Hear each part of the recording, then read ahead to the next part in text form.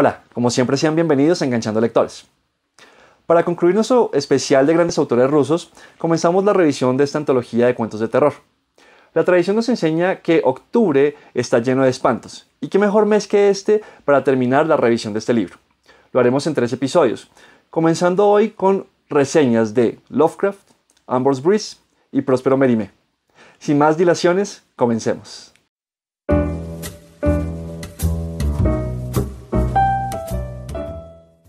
De Howard Phillips Lovecraft, solo quiero recordarles que es el padre del terror cósmico.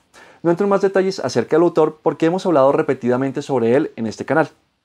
En el sabueso nos encontramos con una pareja de saqueadores de tumbas y coleccionistas, con una mórbida afición por todo lo oculto, herético y blasfemo.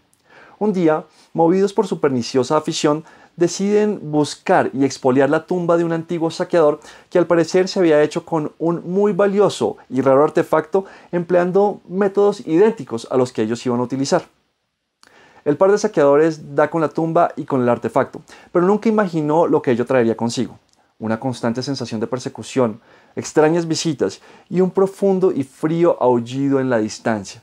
Elementos que eventualmente tendrán nefastas consecuencias. El extraño, relato también de Lovecraft, nos cuenta la historia acerca de un prisionero en un herrumbroso y solitario castillo. El prisionero, desesperado por su soledad y por el deseo de ver la luz, decide arriesgarse un escape que parece imposible. El escape solo lo conduce a una pesadilla aún peor, pues el prisionero se encuentra con una abominación que si la tierra hubiera sido sabia, habría mantenido oculta en sus entrañas. Posiblemente estos dos cuentos hacen parte del ciclo de historias siniestras del autor. En ellos se evidencia su inconfundible estilo, en el que una atmósfera siniestra y de alguna forma arcana es plasmada desde el principio del relato, generando un ambiente opresivo no solo para los protagonistas, sino también para el lector. Los dos cuentos son muy buenos, el primero por llevar a sus protagonistas al límite, y el segundo por su giro final, que aunque previsible no deja de ser divertido. Ambrose Bierce nació en 1842 en Estados Unidos y aparentemente desapareció en México en 1914 mientras viajaba como observador de las tropas de Pancho Villa. Participó en la Guerra Civil estadounidense y cuando obtuvo su licencia se desempeñó como periodista y escritor, caracterizándose por un estilo cáustico, mordaz e irónico. En una noche de verano nos encontramos con un personaje cataléptico o algo semejante que se despierta dentro de su ataúd cuando ya yace bajo tierra. Ante lo irremediable de la situación, el hombre decide dormirse. Entre tanto, sobre la tumba y en medio de una noche de tormenta, dos jóvenes estudiantes de medicina y el negro sepulturero excavan con la intención de hacerse con un cuerpo fresco para adelantar sus estudios.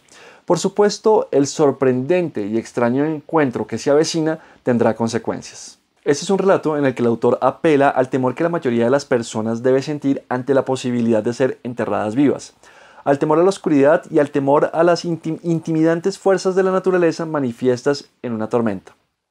Es un cuento brevísimo pero muy bien escrito, con un final más bien inesperado, trágico y de una forma bastante macabra, cómico. Lo que pasó sobre el puente de Old Creek, cuento también de Ambrose Bierce, es un relato sobre la ejecución de un prisionero durante la Guerra de Secesión en Estados Unidos.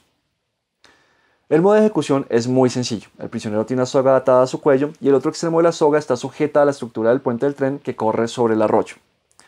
El prisionero y sus captores están parados en extremos opuestos de una tabla puesta a lo largo de la estructura. Cuando los captores se quiten de encima de la tabla, ésta se levantará y el prisionero caerá hacia su muerte por entre las traviesas del puente. Si tan solo consiguiera soltarse del nudo alrededor de su cuello, o si la soga se rompiese, para lanzarse o caer en el agua y escapar a nado, solo puedo decirles que la suerte parece favorecer al prisionero. Este es un muy buen cuento en el que el elemento terrorífico no se desprende ni de la atmósfera ni de la narración, sino del momento final del desenlace. Y es ese instante el que consigue hacer de este relato una historia bastante macabra. Próspero Mérimée nació en París en 1803 y falleció en Cannes en 1870. Es especialmente conocido por su novela Carmen, que fue inmortalizada en la ópera de idéntico nombre. La visión de Carlos XI es un relato típico de espectros y profecías. Una noche, después de fallecida la reina, el rey de Suecia, Carlos XI, está en su gabinete, frente a su chimenea, con un humor de perros. Su médico y su chambelán lo acompañan, pero no ven la hora de retirarse, pues ante un estado de ánimo tan sombrío no es conveniente estar en presencia de su majestad. No obstante, el rey no se decide a prescindir de ellos. En un momento dado, Carlos se levanta de su silla y se asoma a la ventana, desde la que ve luz en el ala en construcción de su castillo. Deciden ir a investigar, aún en contra de los consejos del amo de llaves, quien les dice que desde el fallecimiento de la reina esa ala del palacio está embrujada. Cuando ingresan al gabinete tan extrañamente iluminado, presencian un juicio y una ejecución que solo ocurrirá cinco reinados después. Este es un cuento muy bien escrito que creo que pueden marcarse en lo que es el típico relato de terror gótico. Sin embargo, no me pareció nada excepcional. La historia pierde muchos puntos porque no se sostiene a sí misma, sino que requiere de una explicación adicional al final que le dé sentido a la visión profética de Carlos XI. Esto ha sido todo por hoy. Nos vemos en la próxima con cuentos de Guy de Maupassant, Nathaniel Hawthorne y un anónimo de la tradición anglosajona. Un abrazo.